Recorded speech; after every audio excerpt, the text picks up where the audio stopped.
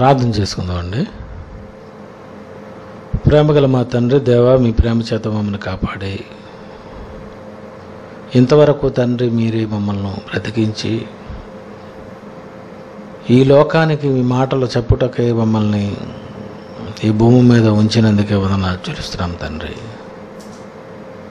లోకం అంతా ఈ ప్రకృతి అంతా తండ్రి ఎవరి అప్పగింపబడిన పని వారు చేయుచుండగా భూమి మీద మీ కొరకు పుట్టించుకున్న మనిషి మాత్రమే మీ కొరకు బ్రతుకుటే లేదు అందరూ తమ సొంత కార్యముల్లోనే ఉన్నారు. మీ పిల్లల కొరకు మీరు రాయించిన మాటలు తండ్రి ఇప్పుడు విని గ్రహించి మీ కొరకు జీవించగలిగేటట్లు సహాయం చేయండి.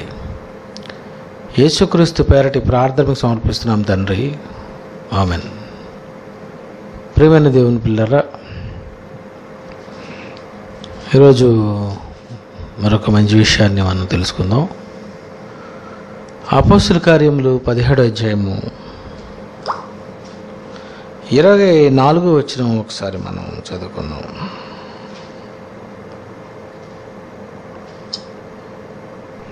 అపోస్తుల కార్యములు పదిహేడో అధ్యాయం ఇరవై నాలుగు వచ్చిన జగత్తును అందలి సమస్తమును దయచేసినటువంటి దేవుడు తానే ఆకాశమునకును భూమికిని ప్రభువై ఉన్నందున హస్తకృతములైనటువంటి ఆలయములో నివసింపడు. ఈ ఇరవై ఐదో వచ్చిన కూడా చదువునాన్న ఆయన అందరికీ జీవమును ఊపిరిని సమస్తమును దయచేయువాడు అని బైబిల్ చెబుతుంది. ఈ అపోస్తుల కార్యములు పదిహేడో అధ్యాయము ఇరవై ఐదో వచ్చిన మరొకసారి చదువుతారు జాగ్రత్తగా గమనించండి. ఆయన అందరికీ జీవమును ఊపిరి. సమస్తమును దయచేయవాడు. ఆయన అందరికీ ఆయన అందరికీ ఊపిరి. పిల్లరా అందరికీ ఆయనే ఊపిరి ఇస్తున్నాడటండి. అందరికీ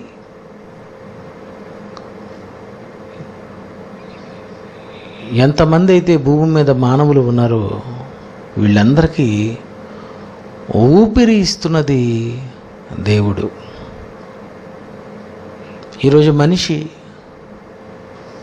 బ్రతకాలి అనుకుంటే ఖచ్చితంగా వాళ్ళకి ఊపిరి ఉండాలి.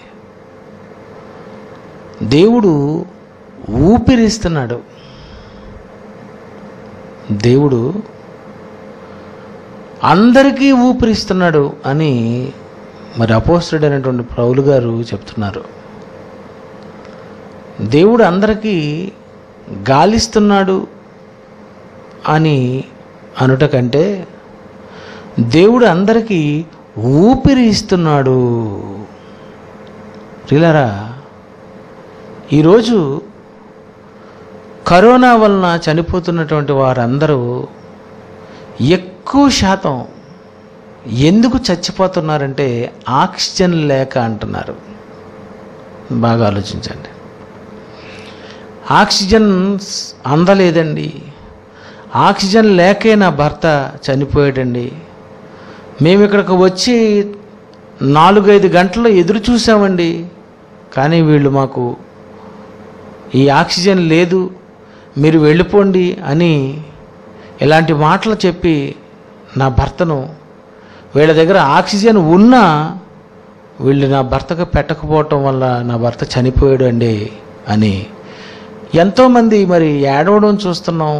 ఎంతోమందికి ఈ ఆక్సిజన్ అందడం లేదు సరిపోవడం లేదు ప్రాణాలు పోతున్నాయి అని మరి రెండు నెలలుగా మనం విపరీతంగా మనం వింటున్నాం.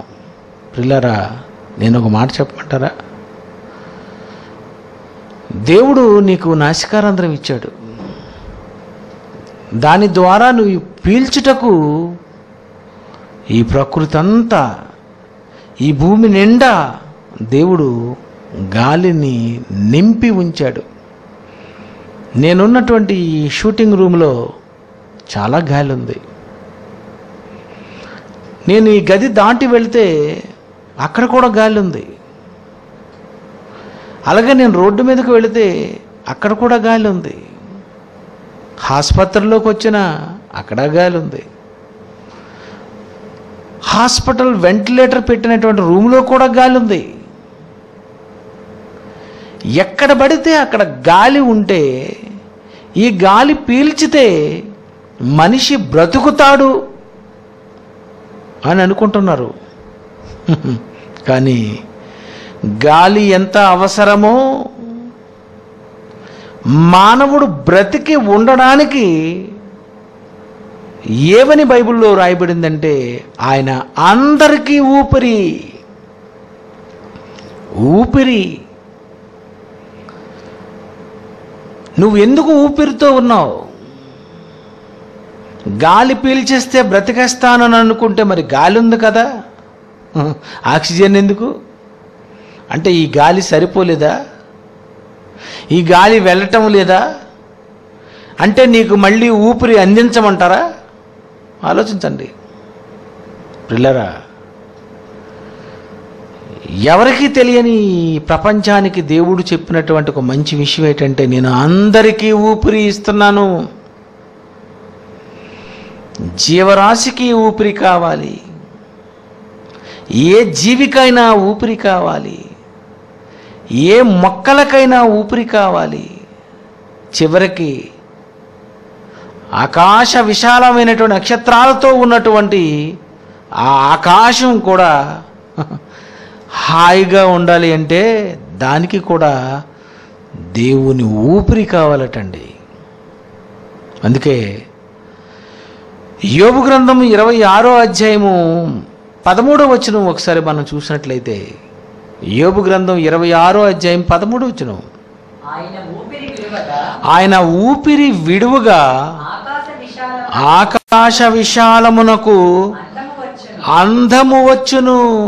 ఆకాశ విశాలమంతా కూడా అందంగా నీకు అప్పుడప్పుడు కనిపిస్తున్నప్పుడు ఏమనిపించాలో తెలుసా? దేవుని ఊపిరి విడువగా ఆకాశ విశాలమునకు అందము వచ్చును. ఆకాశానికే ఊపిరి కావాలట. ఆకాశానికే కాదండి. ఇంకొక మాట చూడండి. యోబు గ్రంథము ముప్పై ఏడో అధ్యాయము పదో వచనం. యోబు గ్రంథము ముప్పై ఏడో అధ్యాయము పదో వచనం. దేవుని ఊపిరి వలన దేవుని ఊపిరి వలన మంచు పుట్టును. జలముల పైభాగమంతయు గట్టిపడును. ఎలా జలముల పైభాగము గట్టిపడుతుంది? ఎలా మంచు పుడుతుంది? ఈ మంచు పుట్టాలన్నా దాని పైభాగము గట్టిపడాలన్నా దేవుని ఊపిరి దాని మీద విడవాలటండి. పిల్లరా అందరికీ ఊపిరి ఇస్తున్నది ఎవరు? అన్నిటికీ ఊపిరి అందిస్తున్నది ఎవరు? దేవుడండి. దేవుడు. ఆయన నీకు ఊపిరిస్తే నేను బ్రతుకుతావు. అందుకే బైబిల్లో ఇంకొంకో మంచి మంచి మాట చూడండి. యోబు గ్రంథము ఇరవై ఏడో అధ్యాయము. యోబు గ్రంథము ఇరవై ఏడో అధ్యాయము రెండవ వచనము. నా ఊపిరి నా ఊపిరి ఇంకను నా ఊపిరి నాలో పూర్ణముగా ఉందటండి. నాలో ఊపిరి ఉంది. నాలో ఊపిరి పూర్ణంగా ఉంది. ప్రియమైన దేవుని పిల్లరా మానవుల్లో ఏముందటండి? ఊపిరి. నాలో ఊపిరి పూర్ణంగా ఉంది. నాలో ఊపిరి సరిపోకపోతే నా ఊ నాలో ఊపిరి తగ్గిపోతే నాకు ఊపిరి కొరత వస్తే నాకు అప్పుడు ఆక్సిజన్ ఎక్కించాల. అని గాలి పీల్చుకుంటే కుదరదు ఇంకా. అంటే మానవుల్లో స్టోరేజ్ ఉంది. మానవుల్లో ఊపిరి ఎంత ఉండాలటండి? నాలో ఊపిరి ఇంకముగా ఇంకను పూర్ణముగా ఉండుటను బట్టి నాలో ఊపిరి ఇంకను పూర్ణముగా ఉండుటను బట్టి. జాన్సన్ విక్టర్ అను నేను నాలో ఊపిరి పూర్ణముగా ఉంది. అదే కరోనా వచ్చినటువంటి వ్యక్తులు ఒక ఐదు రోజులు దాటిపోయింది అనుకోండి ఏడు రోజులు దాటిపోయింది అనుకోండి అంతే. నీ ఊపిరి అయిపోతూ ఉంటుంది. నీలో ఉన్న ఊపిరి పూర్ణముగా ఉండకుండా ఊపిరి తగ్గిపోతూ ఉంటుంది. అప్పుడు నువ్వు గాలి పీల్చుకుంటే కుదరదు. ఊపిరి ఇవ్వాలి ఊపిరి ఎవరిస్తారు? ఊపిరి నీకు ఎలా వచ్చింది? గాలిని దేవుడు ఇచ్చాడన్నా నువ్వు నమ్మవు. ఈ గాలిని నువ్వు పీల్చేస్తే బ్రతికేస్తావని నువ్వు అనుకుంటున్నావు. కాదండి యావత్తు ప్రపంచానికి బైబిల్ చెబుతున్నది దేవుడు చెబుతున్నటువంటి ఊపిరి. నీలో ఊపిరి ఊపిరితో ఉండాలి అంటే నీ ఊపిరి పూర్ణముగా ఉండాలంటే నీ ఊపిరి పూర్ణముగా ఉంటేనే నువ్వు భూమి మీద బ్రతికి బట్ట కట్టగలుగుతావు. అదే నీ ఊపిరి కానీ లోన ఊపిరి తగ్గిపోతుందో ఇంకా నువ్వు బ్రతకవు. గాలి ఉన్నా పీల్చుకుంటున్నా ఎందుకంటే చచ్చిపోతున్నారు కరోనా పేషెంట్స్? చాలామంది రోడ్డు మీద కొట్టుకొని కొట్టుకొని కొట్టుకొని ఊపిరందడం లేదు ఊపిరందడం లేదు ఊపిరందడం లేదు. ఎందుకు ఊపిరి అందడం లేదు? ఎందుకు అందించాలి ఆక్సిజన్? ఒక గ్యాస్ ఎందుకు అందించాలి చెప్పండి. ఇంతకాలం నీకు అలాంటిది నీకు ఏ దేవుడు ఎక్కించి పంపించి ఉంచినా ఊపిరిస్తున్నది దేవుడనే సంగతి నువ్వు మరిచిపోయావు.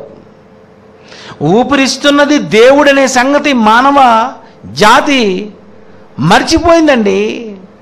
నేనే తింటున్నాను నేనే పీల్చుకుంటున్నాను నేనే త్రాగుతున్నాను నేనే హాయిగా బ్రతుకుతున్నాను దేవుడితో నాకేంటి అనుకుంటున్నారు? కాదు కాదు కాదు. స్పెషల్గా చెబుతున్నటువంటి మాటలు ఇవి. అపోసల పదిహేడు ఇరవై ఐదులో. అపోసల కార్యములు పదిహేడు అధ్యాయం ఇరవై ఐదో వచ్చిన ఒక్కసారి చూడండి. ఆయన అందరికీ జీవమును ఊపిరిని సమస్తమును దయచేయవాడు ఆయన దేవుడు. దేవుడు నీకు ఊపిరి ఊపిరిస్తున్నాడటండి. ఆ ఊపిరి ఉంటేనే నువ్వు బ్రతికుంటావు. ఆ ఊపిరి సంపూర్ణముగా ఉంటేనే నువ్వు ఆరోగ్యంగా ఉంటావు. అందులో ఊపిరి గాని అందకపోతే నీ శరీరంలో ఉన్న ఊపిరి తగ్గిపోతే నువ్వు ఆహారం తిన్నా బ్రతకలేవు గాలి పీల్చుకున్నా బ్రతకలేవు నువ్వు ఏం చేసినా నువ్వు బ్రతకలేవు. రిలారా ఈ ఊపిరి ఇస్తున్నది దేవుడు కాదంటారా? ఊపిరిని దేవుడు ప్రతిరోజు అందించడం లేదంటారా? ఈ ఊపిరిని దేవుడు నీ శరీరంలో నింపలేదంటాడా? సంపూర్ణముగా నింపాడట. అదే కదండి చదువుకుందాం కొన్నాం నా గ్రంథం ఇరవై ఏడు రెండు. నా ఊపిరి ఇంకను. నాలో పూర్ణముగా ఉండుటను బట్టి మళ్ళీ మన మరొకసారి నెక్స్ట్. నా ఊపిరి ఇంకను. నా ఊపిరి ఇంకను నాలో పూర్ణముగా ఉండుటను బట్టి దేవుని ఆత్మ నా ఉండుటను నా నాసికారంధ్రములో ఉండుటను బట్టి దేవుని ఆత్మ నా నాసికారంధ్రములో ఉంది. ఆత్మ ఎక్కడుందండి? నా నాసికారంధ్రములో ఉంది. ఆత్మయే జీవింపజేయుచున్నది. ఆత్మ జీవింపజేస్తున్నా ఆత్మ శరీరాన్ని జీవింపజేసిన ఈ ఆత్మ శరీరములో ఉంటున్న నీ శరీరానికి కావలసింది మరొకటి ఉంది ఏంటదేటండి? ఊపిరి. ఊపిరి.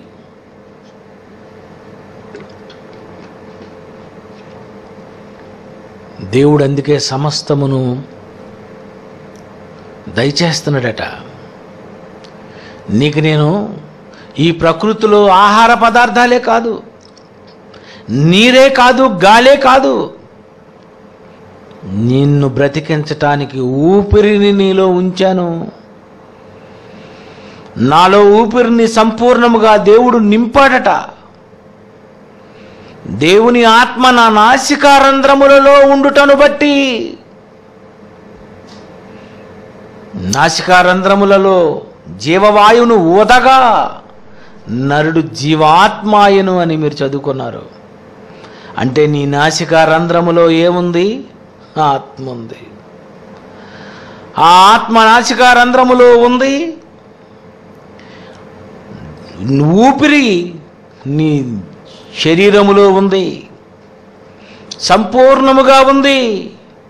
ఈ ఊపిరి ఎప్పుడైతే ఈ శరీరములో ఉంటుందో ఈ ఊపిరిని దేవుడు దయచేస్తేనే నీ శరీరం ఊపిరి కలిగి ఉంటుంది ఊపిరితో ఉంటుంది. లేదా నీ ఊపిరితిత్తులకు ఊపిరి అందదు. నీ ఊపిరితిత్తులకు ఆక్సిజన్ అందదు. నీ శరీరంలోనికి ఊపిరిని అందించాలంటే ఇది అందిస్తున్నది ఎవరు? కరోనా వచ్చినప్పుడే ఆక్సిజన్ పెడితే అమ్మయ్యా ఊపిరి అందింది అంటున్నావు వాళ్ళకు వేస్తున్న బిల్లు ఇరవై తొమ్మిది లక్షలు అపోలో హాస్పిటల్ కరోనా వచ్చిన వాళ్ళకు వాళ్ళు ట్రీట్మెంట్ ఇచ్చిన తర్వాత లాస్ట్లో బిల్లు చేతికి ఇచ్చారట twenty nine lakhs.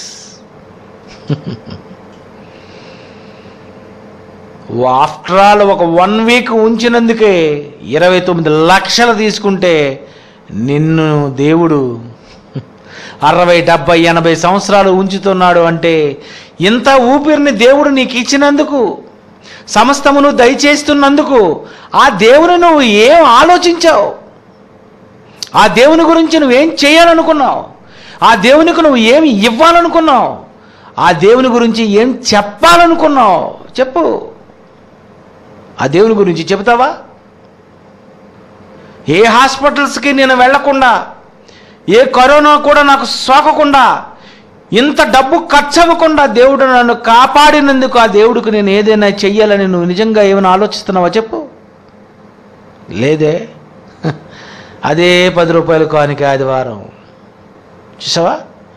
అంటే నీ కరోనా రప్పించి ఊపిరిని ఎప్పుడైతే బిగిస్తాడో అప్పుడు హాస్పిటల్కి ఎంత డబ్బైనా నువ్వు ఖర్చు పెడతావన్నమాట. ప్రియులరా మానవుడు బ్రతికుండాలంటే తనకు తాను బ్రతికుండలేడు. మనిషి భూమి మీద బ్రతకాలి అంటే దేవుడు మాత్రమే బ్రతికిస్తున్నాడు. ఆయనే సమస్తమును దయచేస్తున్నాడు. అందుకే ఆయన సెలవు లేకపోతే నువ్వు భోజనం కూడా చేయలేవట. ప్రసంగి గ్రంథం. రెండో అధ్యాయము ఇరవై ఐదో వచ్చిన ఒకసారి చూడండి. ప్రసంగి గ్రంథము రెండవ అధ్యాయము ఇరవై ఐదో వచ్చినము ఆయన సెలవు లేకుండా భోజనము చేసి సంతోషించుట. ఎవరికి సాధ్యం? నువ్వేదో భోంచేసేస్తున్నావు అనుకుంటున్నావా? నేనే కష్టపడుతున్నాను నేనే తెచ్చుకుంటున్నాను నేనే వండుకుంటున్నాను నేనే తింటున్నాను. నో. నువ్వు బ్రతికి ఉండాలంటే నీకు భోజనం కావాలనుకుంటే ఆయన సెలవు ఉండాలి. ఆయన సెలవు. ఈరోజు నీకు సెలవు ఇస్తే నేను భోంచేస్తావు లేదా? ఈరోజు ముగిస్తావు. అయిపోయింది. ఆయన నీకు సెలవిస్తే నువ్వు నువ్వు భోంచేయగలవు. ఆయన జ్వరం ఇస్తే ఇంకేం భోంచేస్తావు? ప్రియమైన దేవుని పిల్లరా నిన్ను బ్రతికిస్తున్నది ఎవరు? నిన్ను ఊపిరితో వస్తు ఉంచినది ఎవరు? నీకు సమస్తమును దయచేస్తున్నది ఎవరు? ఆయన అందరికీ ఊపిరి దయచేస్తున్నాడట. ఆకాశానికి ఊపిరి దయచేస్తూ మంచుకి ఊపిరి దయచేస్తూ జంతువులకు ఊపిరి దయచేస్తూ మొక్కలకు ఊపిరి దయచేస్తూ ప్రకృతిలో ఉన్న ప్రతి దానికి ఊపిరి దయచేస్తూ నీకు కూడా ఊపిరి దయచేస్తూ నిన్ను కాపాడుతున్నాడు అంటే నీకు అర్థమైపోవాలి. కరోనా పేషెంట్ లాస్ట్ స్టేజ్లో ఉన్నప్పుడు ఊపిరి ఇస్తున్నప్పుడు బా నిజంగా నాకు ఎంత మంచి ఊపిరి అందింది అని బ్రతికేను అనుకుంటున్నావు. చూసావు? అలా జరక్కమునుపు నీ శరీరములో దేవుడు ఊపిరిని సంపూర్ణముగా నింపి పంపాడు. ఊపిరి దయచేస్తూ ఉన్నాడు. కానీ దేవుణ్ణి యావత్తు ప్రపంచం మర్చిపోయింది.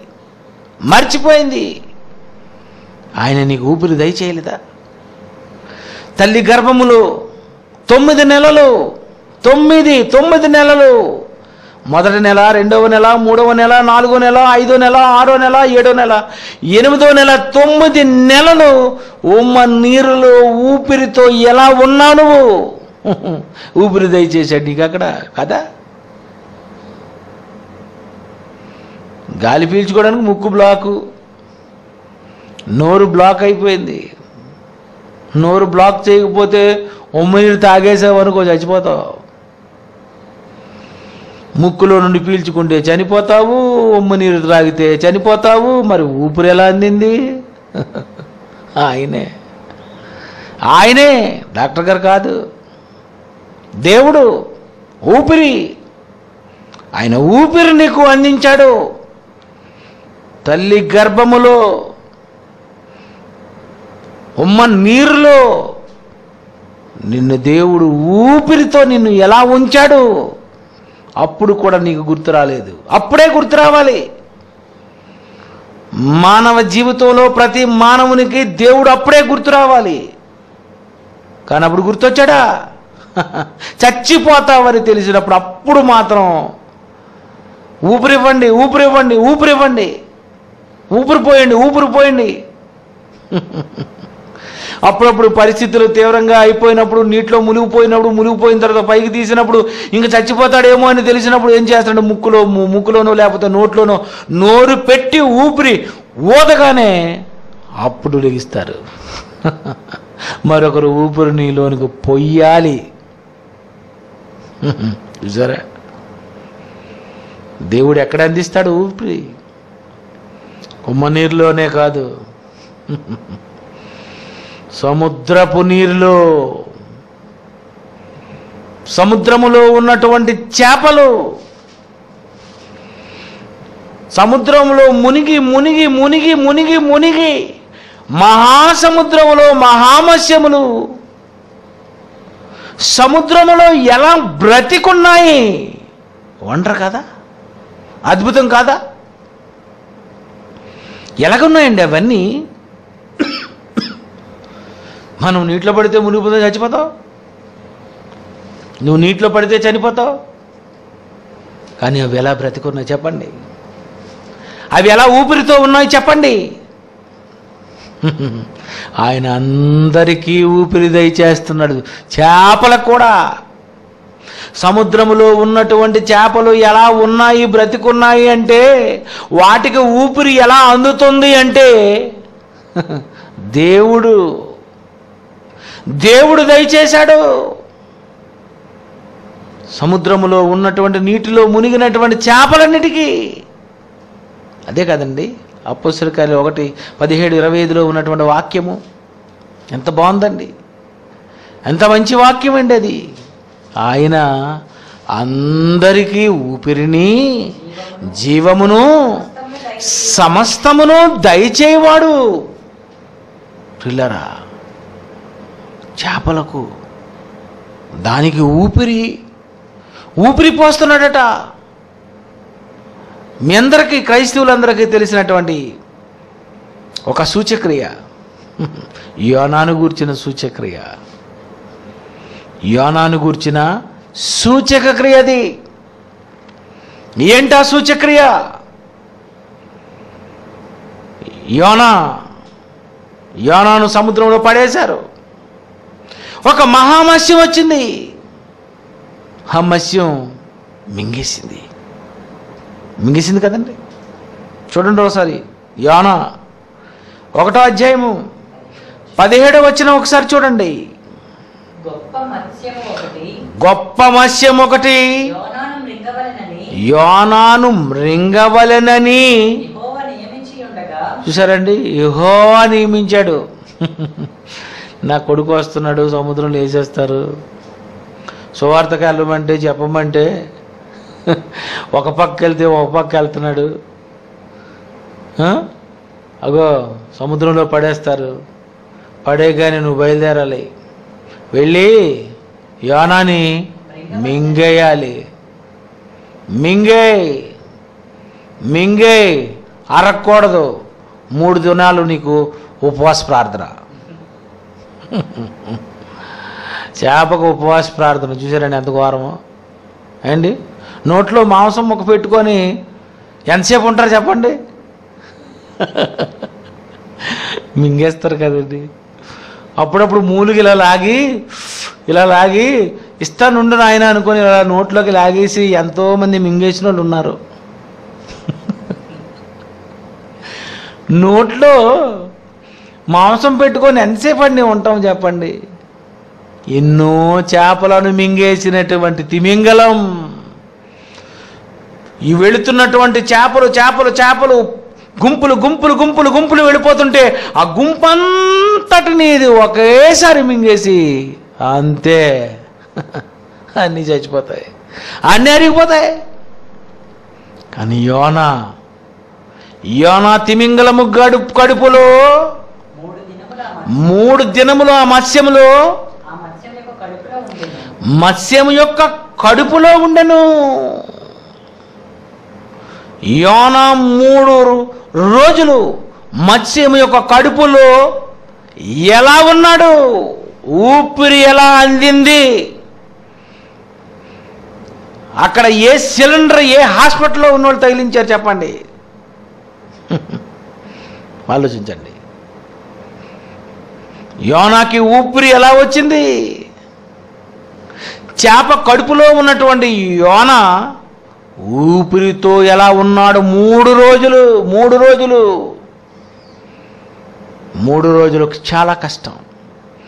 చాలామంది సముద్రంలో ఈత కొట్టాలని చాలామంది లోతులోనికి వెళ్ళిపోతారు. నేను దేవుని నుండి ఈ భూకి ఆదాము నుండి వచ్చావనే పాటలో ఒక అతను సముద్రంలో సుమారు ఒక హాఫ్ అన్ అవర్ ఒక వన్ అవర్ కూడా ఉంటాడు ఎంతవరకు ఉంటావు? అరగంట? గంట? రెండు గంటలు? మూడు గంటలు? ఎన్ని గంటలు ఉండగలవు? సముద్రంలో ఉండాలి అంటే అది కొన్ని గంటలే. ఆ తర్వాత నీవు ఉండలేవు. సముద్రంలోనికి వెళితేనే అందులోనే ఉండకపోతే యానా సముద్రము ఆ సముద్రములో తిమింగలము ఆ తిమింగలము కడుపులో మూడు రోజులు బ్రతికి ఎలా ఉన్నాడు. అతనికి ఊపిరి దయచేసింది. ఎవరు? మళ్ళా పోస్టుల కార్యాలు ఇరవై పదిహేడో అధ్యాయం ఇరవై ఐదో వచనమే. ఆయన అందరికీ చేపకి యోనాకి. ఇద్దరికి. చేపలో ఊపిరి ఇతను పీల్చుకున్నాడు అనుకు అనకు. దానికి ఊపిరి ఇవ్వాలి ఈయనకి ఊపిరి ఇవ్వాలి. బా. ఆ రోజు జరిగినటువంటి సూచక్రియలో యోనా తిమింగలము కడుపులో బ్రతికి ఎలా ఉన్నాడు? ఎలా అతను ఊపిరి పీల్చుకున్నాడు? ఎలా ఊపిరితో ఉన్నాడు? చెప్పండి. చెప్పండి. అప్పుడు నీకు అర్థమవుతుంది కదా? అబ్బా తిమింగలం కడుపులో అమ్మయ్య ఊపిరిచ్చాడు దేవుడు. అదే భూమి మీద? ఎక్కడ ఉన్నాడండి బాబు దేవుడు. చూసావా? భూమి మీద అయితే ఎక్కడున్నాడు దేవుడు అంటావు ఐదు వేళ్ళు హాయిగా వెళుతుంటే ఎక్కడున్నాడు దేవుడు అంటావు నీకు నువ్వే హాయిగా ఆరోగ్యంతో ఉంటే ఎక్కడున్నాడు దేవుడు అంటావు. అదే అనారోగ్యం వస్తే వెంటిలేటర్ కావలసి వస్తే అప్పుడు అంటావు. దేవుడు కావాలి వెంటిలేటర్ కావాలి. అంతే కదా? నీకు అప్పుడు ఆక్సిజన్ కావాలి. అక్కడ కరోనా పేషెంట్కి ఆక్సిజన్ అందించింది ఈ వైద్యులైతే తిమింగలము కడుపులో ఉన్నటువంటి యోనాకి ఆక్సిజన్ అందించింది పరమ వైద్యుడు.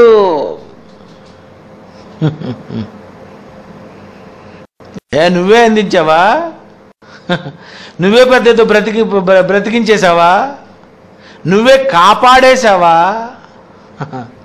బ్రతకడు బ్రతకడు బ్రతకడు బ్రతకడు. బ్రతకడు బ్రతకడు బ్రతకడు అని అన్నారట. మన రాజేంద్ర గారి తాలూకా మేనలుడు రాజోల్లో ఆయన పక్కింట్లోనే ఉంటారు. ఆయన ముందు వ్యాక్సిన్ ఇచ్చుకున్నారట. ఇచ్చుకున్న తర్వాత ఆయన అదే రోజు వ్యాక్సిన్ ఇచ్చిన తర్వాత ఆ రెండో రోజు జ్వరం వచ్చింది. ఆ ఇదే ఉంది ఏదో వ్యాక్సిన్ వలన వచ్చిన జ్వరమేని అనుకొని ఐదు రోజులు అలాగే ఉండిపోయారు. ఆరో రోజు అలాగే ఉంది. ఏడో రోజు ఎందుకైనా మంచిదని టెస్ట్ చేస్తే కరోనా? హాస్పిటల్కి తీసుకెళ్ళేసరికి అన్నారు ఏమిటి ఏడు రోజులు అయిపోయింది టైం దాటిపోయిందండి ఇంకా బ్రతకండి తీసుకెళ్ళిపోమన్నారట. రాజమండ్రి తెచ్చేశారట. ఆ రాజమండ్రి తెచ్చేస్తే ఆ రాజమండ్రి డాక్టర్ అన్నాడట ఇంకా వన్ అవర్ కూడా బ్రతకడండి తీసుకెళ్ళిపోండి అన్నాడట. ఇంకా లాభం లేదనుకొని గవర్నమెంట్ హాస్పిటల్లో పడేశారట. తీసుకెళ్ళేసరికి మొత్తం గవర్నమెంట్ హాస్పిటల్ నిండా కరోనా పేషెంట్లేనట. మొత్తం వీళ్ళందరూ అటువైపు ఇటువైపు మొత్తం అందరూ బయటే ఉన్నారట. వాళ్ళకి రూములు లేవట. చివరకు రూములు చూసుకుందాం చూసుకుందామని వెతుకుతుంటే ఎక్కడా రూమ్ దొరకలేదట. చివరికి ఆ హాస్పిటల్లో పనిచేస్తున్నటువంటి ఒక ఆమె మన చాగల్లో వెంకటేశ్వరరావు గారి మిస్సెస్. ఆయన ఆయన భార్య వెంటనే అందులో పనిచేస్తుందని తెలుసుకొని ఆయనకు ఫోన్ చేసేసరికి మా ఆవిడ సెలవు పెట్టిందండి అని అన్నారట. చూసారండి ఎలాంటి పరిస్థితో? ఇంక వీళ్ళు ఆశలు వదిలేసుకున్నారు. ఇంకా అయిపోద్ది ఇంకా అయిపోతాడు రిటర్న్ తీసుకెళ్ళిపోదామని. ఆవిడ వెంటనే చాగల వెంకటేశ్వరరావు గారు మోటార్ సైకిల్ మీద వెంటనే వాళ్ళ మిస్సెస్ని తీసుకొని బయలుదేరిపారట. అంతే. హాస్పిటల్కి వచ్చేసి అక్కడ మెల్లిగా ఎలాగోలాగా అందరం ఎంక్వైరీ చేస్తే ఒకే ఒక బెడ్ ఉందట. అది కూడా కరోనాతో ఉండి చనిపోయినటువంటి ఒక బెడ్. ఆ బెడ్ను ఎప్పుడైతే మరి తీసుకొని ఆ పేషెంట్ కిందకి దించి ఈ పేషెంట్ని పైకెక్కించి ఎంత కష్టమైపోయిందో అటు తెలుసండి. అంతే వారం రోజులు ఉన్నాడు వారం తర్వాత ఆయన బయటకు వచ్చాడట బా! ఎవరు ఊపిరి? ఊపిరి ఎవరు పోశారు? ఆయనకు ఊపిరి ఎందుకు వచ్చిందో తెలుసా? రాజేంద్ర కన్స్ట్రక్షన్ చేస్తున్నటువంటి సెకండ్ ఫ్లోర్కి ఆయనే లక్షల రూపాయలు ఇచ్చాడట ఆయన. ఆయనే.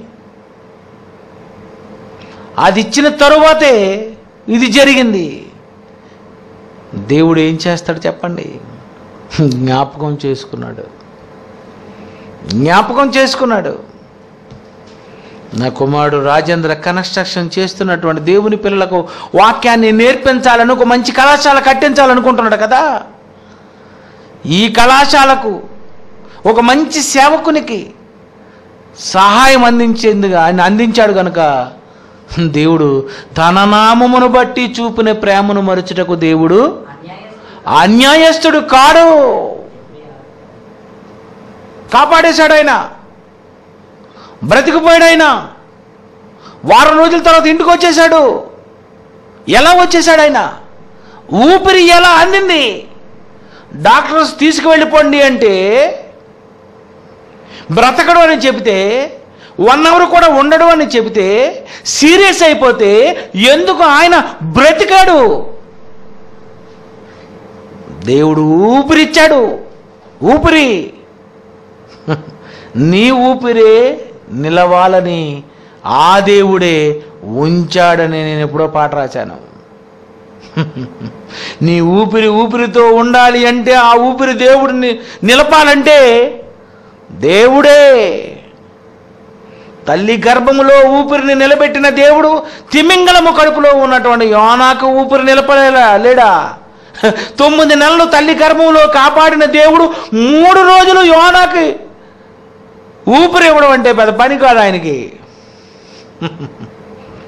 ప్రియమైన దేవుని పిల్లారా నువ్వు ఊపిరితో ఉండాలన్నా ఆరోగ్యంతో ఉండాలన్నా జీవంతో ఉండాలన్నా భోజనం చేయాలన్నా ఏం చేయాలన్నా? దేవుడండి. దేవుడండి ఎందుకే ఎక్కువ ప్రేమించాలి? దేవుని గుర్తు చేసుకోవాలి. దేవుని స్మరింపము. నీ బాల్య దినముల సృష్టికర్తను స్మరణకు తెచ్చుకో. బాల్య దినాలు దాటితే వచ్చే దినాలన్నీ కూడా నువ్వు తప్పు చేయడానికి పాపం చేయడానికి అవకాశం ఉన్నటువంటి దినాలు అక్కడి నుండే నీ సృష్టికర్తను స్మరణకు తెచ్చుకో. అనారోగ్యం వచ్చినప్పుడు కాదు హాస్పిటల్లో కాదు సృష్టికర్తను బాగున్నప్పుడు గుర్తు తెచ్చుకో. ఎప్పుడు గుర్తు చేసుకుంటావు? క్రైస్తవులకు రెండే రోజులు. ఒకటి అనారోగ్యమైనా రావాలి లేదా ఆదివారమైనా రావాలా? మామూలుగా ఉన్నప్పుడు అవసరం లేదు. ప్రార్థనకు రావు. దేవునికి ఇవ్వవు. దేవుని గురించి చెప్పవు. దేవుని సభలు జరుగుతున్నా మీ ఊర్లో జైశాల్ గారు వచ్చారని తెలిసినా సెలవు పెట్టుకొని రావు. ఉద్యోగమే పురుష లక్షణం అని ఉండిపోతావు. నేనేం చేయాలి? ప్రేమైన దేవుని పిల్లరా దేవుడే పుట్టించాడు దేవుడే బ్రతికించి ఉంచుతున్నాడు. దేవుడే ఆన్ని. ఆయనే నిన్ను కాపాడాలి. నిన్ను కాపాడువాడు ఆయనే. నేను లేపాలనుకుంటే ఆయన లేపేస్తాడు. ఏ పనికి నువ్వు పనికిరానప్పుడు నిన్ను ఎందుకు ఉంచాలి? దేవుని కొరకు ఏది చేయలేనప్పుడు ఏది చెప్పలేనప్పుడు ఎందుకు ఉంచాలి నిన్ను? రిలరా బ్రతికి ఉన్నావంటే దేవుడే కాపాడాడు. నా తల్లిదండ్రుల దీవెనలు. అనుకో. పాస్టగారి ప్రార్థనలు అనుకో. దేవుడు దేవుడు ఆయన అందరికీ సమస్తము దయచేస్తూ ఊపిరి కూడా అందరికీ దయచేస్తున్నాడట. ప్రిల్లరా ఊపిరి కావాలంటే లక్షల లక్షల ఖర్చు అవుతుంది. మరి నీకు ప్రతిరోజు ఊపిరిస్తున్నప్పుడు ఆయన గురించి ఏమైనా ఆలోచించావా? ఆయన గురించి ఎప్పుడైనా చెప్పావా? ఆయన గురించి ఒక్కరోజైనా గొప్పగా ఏం చెప్పావు? ఏం చేసావు ఏం చేయలేదు కదా. నీ జీవితకాలము నీకు ఇష్టమైనట్టు సుఖము అనుభవించాలనుకుంటున్నావు కదా. అలాంటి వాడు ఆయనకు అవసరం లేదు. ఊపిరి తీసేస్తాడు.